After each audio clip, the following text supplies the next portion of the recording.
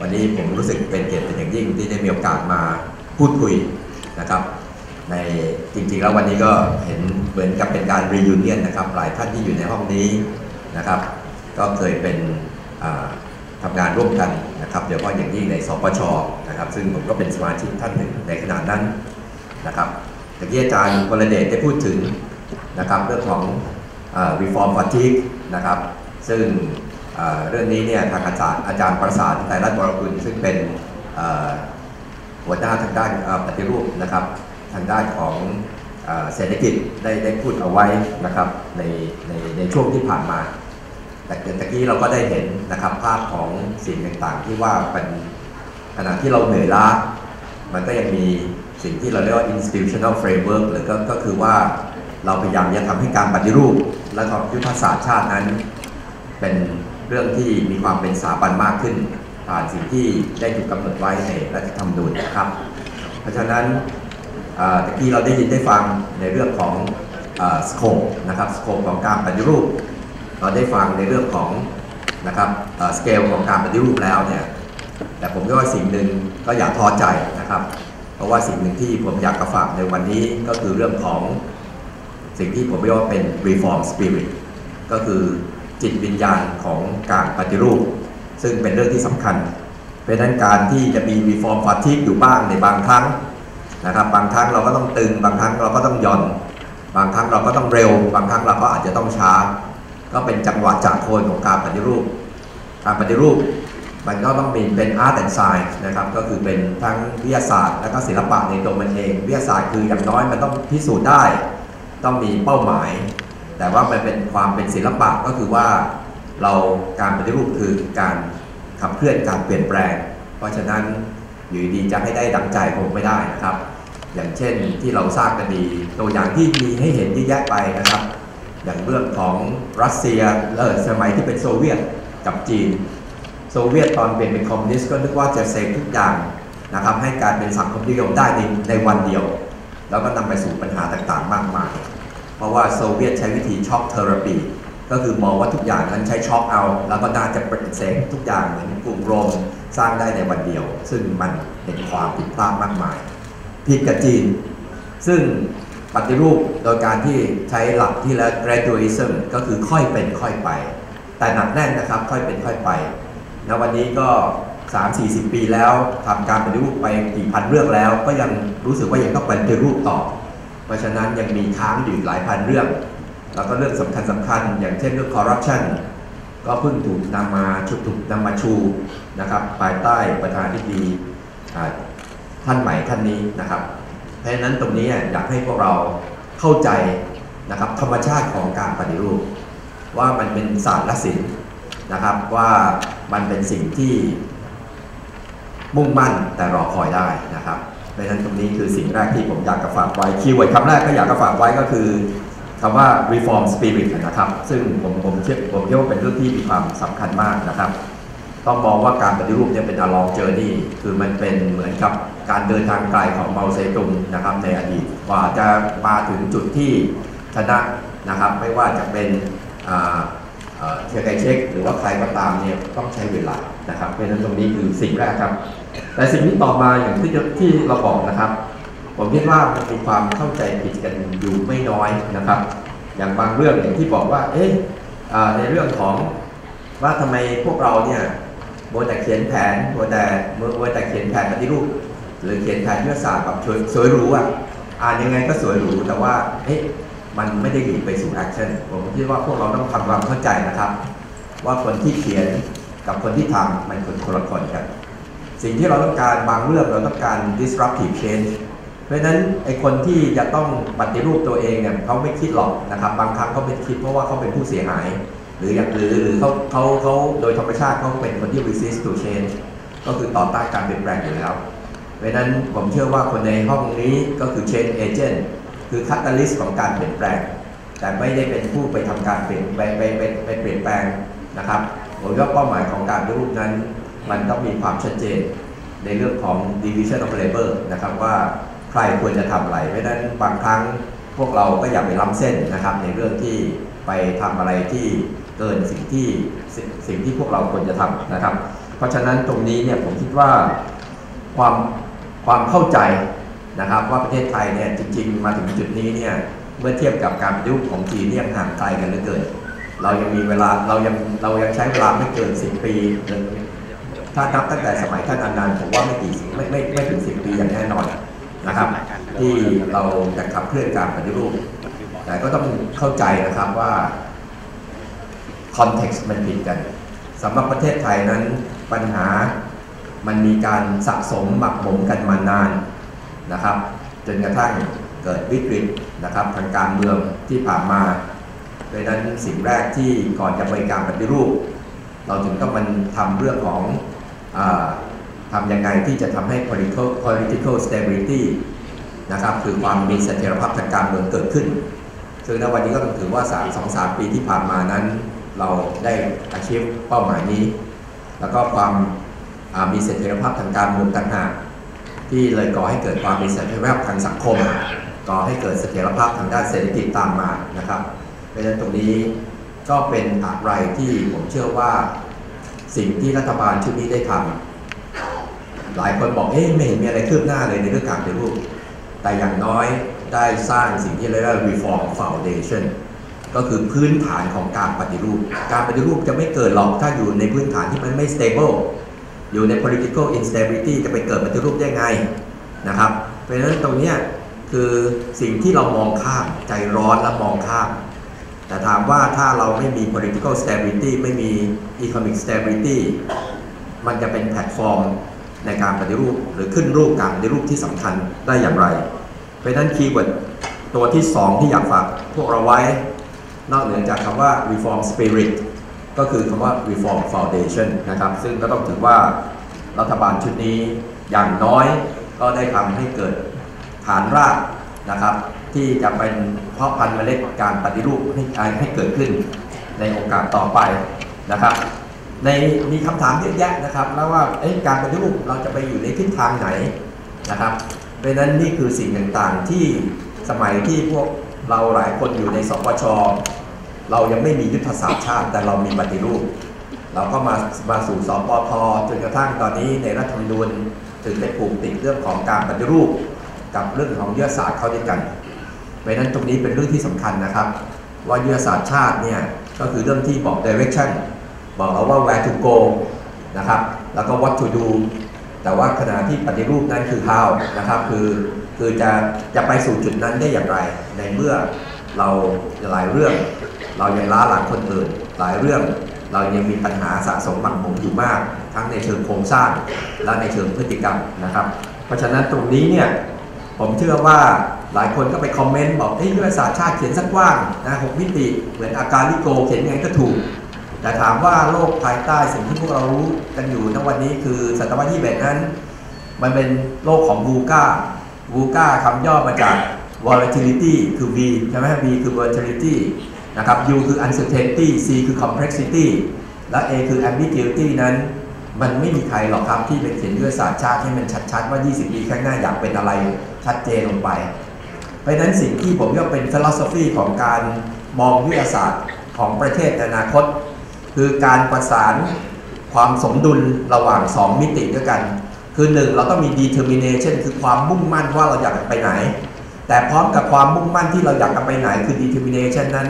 เราจะต้องมีมิติที่ 2 คือ adaptability คือการปรับตัวเข้ากับสภาพแวดล้อมที่เปลี่ยนแปลงไปได้ เพราะฉะนั้นไม่งั้นมันจะเป็นการยุทธศาสตร์ที่แข็งทื่อหรือไม่มีอะไรเลยนะครับเพราะฉะนั้นนี่คือสิ่งต่างๆ ที่ผมอยากให้พวกเรานะครับผมพยายามบอกสภาพัฒน์หลายทีว่าต่อไปมันจะต้องมี Future Lab นะ มันจะต้องมี Policy Lab นะ แล้วก็กพรจะต้องมี Government Lab นะ เพื่อรับกับ Adaptability ที่จะเกิดขึ้นจาก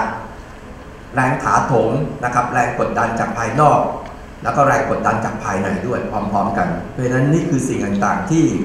เราไม่ได้สักแต่เขียน แต่เราต้องสร้าง capability หรือ capacity นะครับ ผมเคยเป็นเช่นไว้เสมอนะครับว่าการปฏิรูปนั้น อย่าไปเน้นการเขียน แต่เน้นเรื่องของการสร้างขีดความสามารถที่จะไปขับเคลื่อนการปฏิรูป ผมมองใน 3 มิติด้วยกัน คือ responsive capacity ก็คือโลกมันเปลี่ยน เราจะมี responsive กับโลกให้ทันเหตุการณ์โลกได้ยังไง 2 คือ inclusive capacity จะทำยังไงให้ประชาชนโดยส่วนใหญ่มีส่วนร่วมในการปฏิรูปทำไงให้เขาเป็นเจ้าของการปฏิรูป ส่วนที่ 3 ก็คือค่อยมาพูดถึง competitive capacity ว่าปฏิรูปไปแล้วประเทศจะไปแข่งกับคนอื่นได้อย่างไรนะครับเพราะนั้นในสมัยที่ผมอยู่สวชนะครับผมได้มีโอกาสนำเสนอแผนภาพหนึ่งผมเรียกว่าเป็น snake in the tunnel การปฏิรูปหรือการยุทธศาสตร์ต่างๆ แล้ว มันจะต้องเหมือนมีเป็นงูที่อยู่ในอุโมงค์นะครับ มีดีเกียฟรีดอมมีอิสระที่งูงูมีอิสระที่จะขับเคลื่อนไป แต่ภายใต้อุโมงค์คือรู้ว่าทิศทางที่จะเคลื่อนไปคือไปถึงที่จุดไหน แต่เราจะต้องไม่ทำให้การปฏิรูปหรือยุทธศาสตร์นั้นแคบจนงูงูนั้นอึดอัดเสมือนหนึ่งถูกบังคับให้ไป หรือกว้างจนกระทั่งไปไหนก็ไม่รู้ เพราะฉะนั้นความกว้างของอุโมงค์คือสิ่งที่พวกเราต้องออกแบบมันเป็น art and science of reform นะครับที่จะไปสู่เป้าหมายที่เราต้องการ เพราะฉะนั้นในส่วนนี้นั้นผมคิดว่ารูปธรรมที่รัฐบาลชุดนี้ภายใต้การนำของท่านประยุทธ์จันโอชาพยายามที่จะเชื่อมเรื่องของยุทธศาสตร์ชาติ 20 ปี ซึ่งเป็นเรื่องที่มอง direction แต่ยังมากไม่ชัดกับเรื่องของการปฏิรูปนั้น จึงผ่านสิ่งที่เราเรียกว่า Thailand 4.0 นะครับ เพื่อให้เห็นภาพของรูปธรรมในระยะ อย่างน้อย 3-5 ปีข้างหน้านี้นะครับ เพราะฉะนั้นในส่วนนี้นะครับผมคิดว่า เรื่องที่สำคัญก็คือ เราจะต้องทำต่อจิ๊กซอกัน ไม่ใช่มองแบบแยกส่วนนะครับ ถึงแม้ว่าเรื่องปฏิรูปจะเกิดขึ้นก่อนยุทธศาสตร์ก็ตามนะครับ แต่ผมคิดว่าในที่สุดแล้ว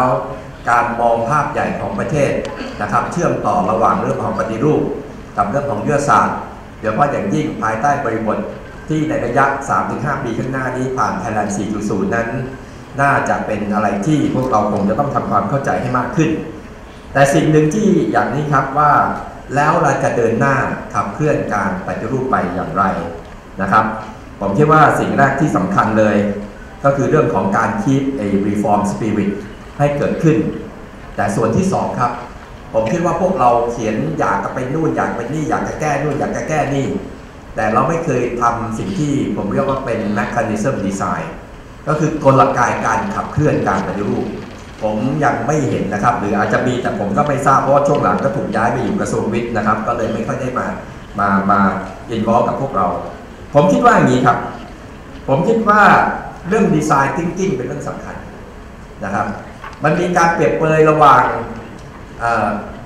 โมซาร์ทกับบีโธเฟนนะครับเขาบอกโมซาร์ทเนี่ยเป็นนักดนตรีนักอะไรที่ผู้ยิ่งใหญ่ แต่ว่าโมซาร์ทมองอะไรเป็น conceptual มองอะไรเป็นภาพใหญ่อยากอยากคือเพราะนั้นมันยิ่งใหญ่เหลือเกินเวลาเราฟังนะครับเพลงของโมซาร์ทขณะที่บีโธเฟนนั้นเขาเรียกว่าเหมือน experimental design คือใช้ทดลองทดสอบ เอาสิ่งที่เห็นอยู่ข้างหน้าเนี่ยแล้วลองเล่นกับมันดู เพราะฉะนั้นผมคิดว่าในบางครั้งการปฏิรูปในช่วงบางยุค เราคิดภาพใหญ่โอ้อยากได้อย่างนู้นอย่างนี้ออกมาเป็นกี่ร้อยเรื่องกี่พันเรื่อง แต่ถามว่าทำได้หรือไม่รู้ เพราะฉะนั้นวันนี้ผมก็คิดว่าเราจะต้องใช้โมเดลแบบดีโทเฟนหรือเปล่านะครับ ในการที่จะขับเคลื่อนการปฏิรูป นั่นก็คือการที่มองว่าทุกอย่างเป็นเรื่องของการทดลองทดสอบยิบบางอย่างขึ้นมาดูมาทำดู แล้วถ้ามันได้ มันก็จะเกิดสโนว์บอลมันก็จะทำให้รู้สึกว่ามีกำลังใจจากควิกวินจากสมอลวินมันจะค่อยๆคิดการใหญ่ขึ้นนะครับ เพราะฉะนั้นในส่วนนี้เนี่ยผมคิดว่าสิ่งที่พวกเราจะต้องดำเนินขับเคลื่อนไปจากนี้ไป จึงต้องเป็นเรื่องของการลองถูกลองผิด กล้าที่จะลองถูกลองผิดกับการปฏิรูป ไม่ใช่กล้าที่จะเขียนอะไรแค่นั้น แต่กล้าที่จะทำการทดลองทดสอบ สิ่งหนึ่งที่ในคณะกรรมการ 4.0 ของท่านนายก จึงพยายามจะเน้นในเรื่องของแซนด์บ็อกซ์ ว่ามีหลายสิ่งหลายอย่างโลกในอนาคต การปฏิรูปโดยแก้ปลดล็อกในเรื่องเก่าๆคงไม่พอ เพราะเราจะต้องรับกับประเด็นท้าทายของโลกอีกมากมาย เพราะฉะนั้นคำถามคือ regulatory sandbox นั้นอยู่ในใจพวกเรามากน้อยแค่ไหนอย่างไร การปฏิรูปพลังงานต้องใช้ sandbox แบบไหน การปฏิรูปทางด้านระบบราชการต้องใช้ sandbox แบบแบบใด เรามีหรือไม่ ผมคิดว่าตรงนี้คือ mechanism design ซึ่งจะต้องลงไป ผมคิดว่าเราอีน้ำละสำหรับ conceptual design ที่ตั้งแต่ท่านนายกอันนันต์มาจนถึงปสปชสปทอีน้ำละพอแล้วณวันนี้คือการเอามาขับเคลื่อนให้เกิดขึ้น เปลี่ยนจาก conceptual design มาเป็น mechanism design ผ่านเรื่องของ experiment ให้ได้นะครับ เพราะฉะนั้นตรงนี้คือสิ่งต่างๆ ที่ผมอยากจะกลับเรียนแล้วก็ฝากไว้นะครับเพราะว่าอะไรครับ เพราะว่าโลกมันเปลี่ยนเร็วเหลือเกิน มันอยู่ใน VUCA เพราะนั้นมันต้อง fail fast เพื่อที่จะ learn fast นะครับ คือมันจะต้องรู้ว่าเอ๊ะทำแล้วมันไม่ work อะนะครับ เพราะนั้นเรารู้ว่ามันไม่ work เราก็จะได้เรียนรู้ เราก็จะได้คิดค้นการรูปแบบการปฏิรูปแบบใหม่ที่จะตอบโจทย์แบบเดิมอย่างนี้เป็นต้น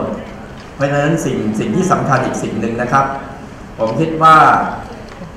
นอกเหนือจากเรื่อง reform spirit นอกจาก reform foundation นะครับหรือแม้ทั้งการเปลี่ยน mechanism นะครับเป็น reform mechanism คีย์เวิร์ดที่สำคัญก็คือเรื่องของเราจำเป็นจะต้องมี reform KPI เราจำเป็นจะต้องมี milestone เราจำต้องรู้ว่าเราทำไปเพื่อ achieve อะไร เพราะนั้นคือรูปธรรมของความสำเร็จที่จับต้องได้ ทั้งในระยะสั้นและระยะยาวนะครับ ราะฉะนั้นตรงนี้คือสิ่งต่างๆที่ผมคิดว่าต้องถามให้ได้ว่าประชาชนได้อะไรจากการปฏิรูป ไม่ใช่ปฏิรูปไป เพราะเรารู้สึกว่าเราค้างเรื่องนี้มานานแล้ว เราอยากจะผลักดันเรื่องนี้มานานแล้ว สมัยอยู่สปชมีหลายคนโอ้โหร้อนวิชา เพราะว่าสิ่งที่ตัวเองค้างเนี่ยจะได้เอามาเอามาระบาย แล้วก็เอามาใส่ไว้ในนี้ โดยที่ขาดการมองว่าแล้วในที่สุดที่ทำรับไปเนี่ยตกลงประชาชนได้อะไรกันแน่นะครับ เรื่องสุดท้ายผมคิดว่าเป็นเรื่องที่สำคัญนะครับ ก็คือเรื่องของการที่เลิกคิดถึง reform fatigue เพราะ reform fatigue เป็นธรรมชาติของมันเอง แต่ fatigue แล้วหยุดพักแล้วก็เดินหน้าต่อไปนะครับ เพราะนั้นสิ่งที่ผมคิดว่าจะปลุกระดมพวกเราในวันนี้เนี่ยผมว่าณวันนี้คือการปฏิรูปภาคประชาชนแล้ว เรามานั่งนั่งหวังการปฏิรูปโดยภาครัฐยากแล้วนะครับ เพียงอย่างเดียวไม่พอต้องเสริมด้วยภาคประชาชน และไม่ผมพูดผิดครับ ไม่ใช่เสริมด้วยภาคประชาชน ต้องนำด้วยภาคประชาชนครับ เพราะฉะนั้นจริงๆ การปฏิรูปนั้นท่านนายกรัฐมนตรีท่านมี political will สูงมาก แต่ท่านก็รู้ว่าภาครัฐเองเนี่ยเป็นทั้งกลไกการขับเคลื่อนการปฏิรูป และเป็นทั้งอุปสรรคของการปฏิรูป เพราะฉะนั้นถ้าไม่พึ่งพาภาคประชาชนคงจะยากนะครับ เพราะฉะนั้นตรงนี้เนี่ยผมคิดว่าในช่วงที่ผ่านมาเราพยายามผลักดันกลไกประชารัฐ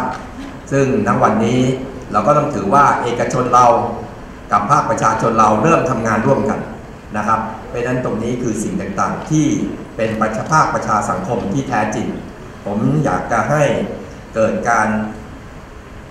ทำให้พวกเราในวันนี้เนี่ยสร้างสิ่งที่เราเรียกว่ากระแสครั้งใหม่ ที่เป็นเรื่องของ reform movement ภาคประชาชนนะครับ โดยที่ยึดเอา reform spirit โดยที่รู้เอาประชาชนเป็นตัวตั้งว่าเขาจะได้อะไร แต่ขณะเดียวกันเวลาทำงานมี art and science ของการ reform นะครับอย่างแท้จริง เพราะฉะนั้นตรงนี้ก็คือว่านอกจากถามว่าประชาชนจะได้อะไร มันเป็นถามมันเป็นคำถามแบบเก่าๆ แต่มันไม่พอล้วครับ ประชาชนจะได้อะไรเป็น necessary condition แต่ไม่ใช่ sufficient condition แต่เราต้องถามต่อว่านอกจากจะถามว่าประชาชนจะได้อะไรจากการปฏิรูป ต้องถามว่าประชาชนจะเข้ามามีส่วนร่วมกับการปฏิรูปได้อย่างไรด้วย ตรงนั้นจึงเป็น sufficient condition เพราะการปฏิรูปถึงวันหนึ่งจะได้จะมาจะมีพลังอันมหาศาลจะต่อเนื่องอย่างไร มันมาจากภาคประชาชน ภาครัฐถึงวันหนึ่งมาแล้วก็ไปนะครับ ผ่านการเลือกตั้งเพราะนั้นตรงนี้คือสิ่งต่างๆที่ถ้าเรามองว่าความการปฏิรูปคือการสิ่งทำให้โซเชียลนะครับ มัน betterment มันดีขึ้นนะครับ มันจำเป็นจะต้องให้ empower ภาคประชาชนเสีย แล้วให้เขาเป็นกำลังหลักของการปฏิรูปนะครับ เหมือนกับที่ผมเมื่ออาทิตย์ที่แล้วผมได้พูดนะครับว่าการปฏิรูปที่แท้จริงนั้น คือการเปลี่ยน M society คือ Me society ณวันนี้สังคมไทยยังเป็น Me society โตกูของกูนะครับ เพราะนั้นตรงนี้คือสิ่งต่างจะเปลี่ยนจาก Me society มาเป็น V society มาเป็นตัวเราของพวกเราได้อย่างไร เพราะฉะนั้นตรงนี้เนี่ยผมคิดว่าเราจำเป็นจะต้องน้อมนำเอาศาสตร์พระราชานะครับ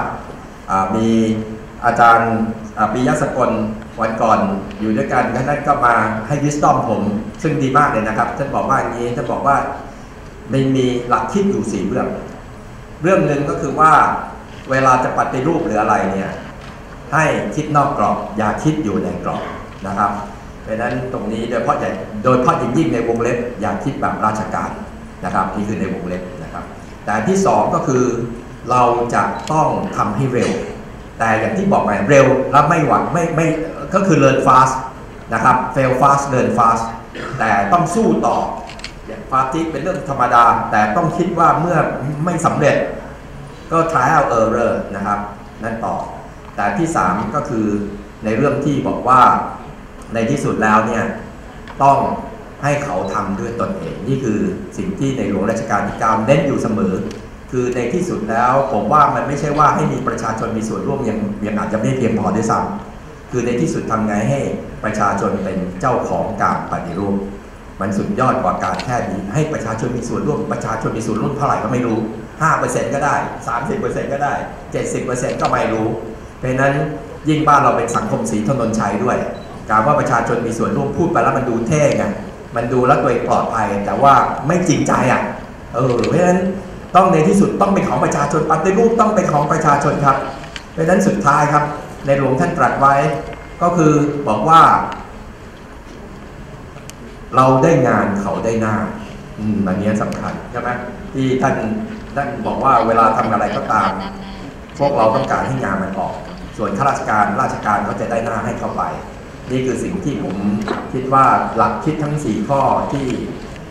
ผมได้รับมาจากในหลวงและมาแอพพลายในบริบทของการปฏิรูปนั้น ผมเชื่อว่ามาถึงจุดนี้ เราเหนื่อยก็พักกันบ้าง แต่ถึงจุดที่เราต้องเดินทางไกลอีกไม่อีกอีกเยอะ